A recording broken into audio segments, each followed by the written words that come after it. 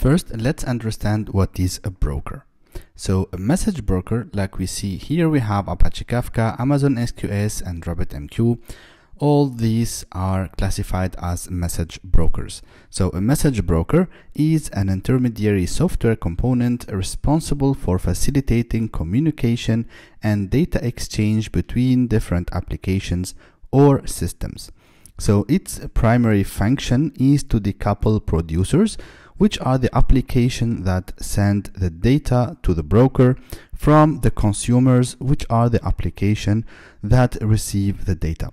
So the message broker acts as a mediator, ensuring that messages are delivered efficiently and reliably from producer to the consumer. And the key characteristics of message brokers are first we have decoupling. So the message broker enable loose coupling between the application by allowing them to communicate without needing to be aware of each other's existing. So here we have the left hand side will send the message to the broker and the right hand side will consume the message from the broker. So we don't need to know who sent this message.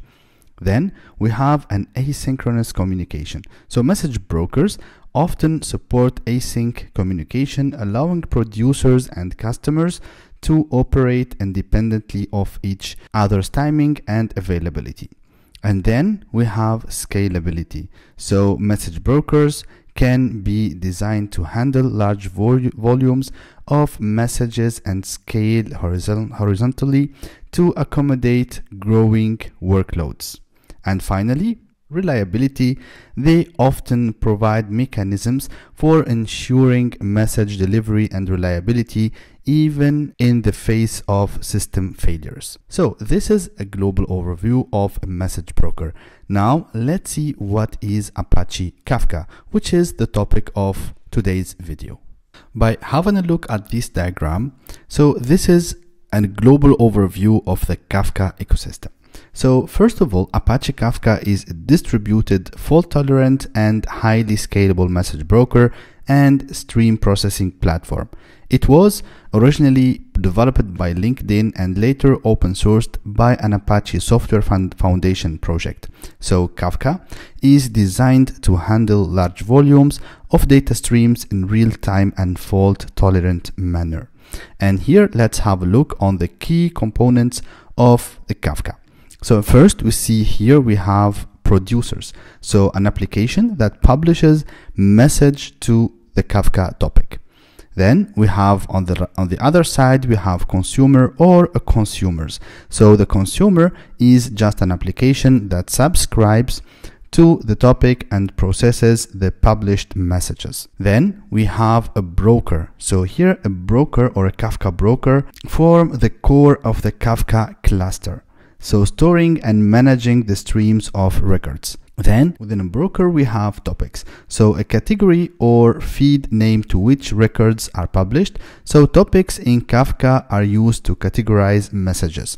Then we have also, we will see this later on, we have also partitions within Kafka. So topics are divided into partitions, allowing Kafka to parallelize processing and scale horizontally. Then we here we see here that we have something called Zookeeper.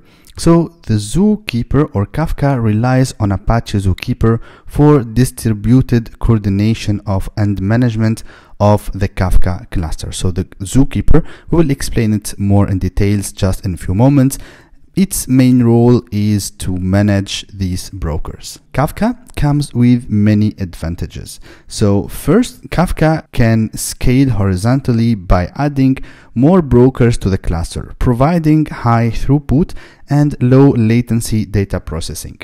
Then we have durability. So messages in Kafka are persisted to disk, providing durability even the event of node failures. Then it's fault tolerant, so Kafka is designed to be tolerant, ensuring that it can continue to operate seamless, seamlessly in the face down of hardware or software failures. And then it's a real-time processing, so Kafka allows for real-time stream processing, making it suitable for applications that require low latency data delivery. And then, as we spoke before, decoupling. So Kafka topic-based architecture enables decoupling between producers and consumers, allowing flexibility and independence in application development. Then we have the data retention. So Kafka provides configurable data retention policies, allowing organizations to retain messages for a specified period. And finally, it's the ecosystem integration. So Kafka has a rich ecosystem with connectors for integrating with various data storage systems, stream processing frameworks, and analytics tools.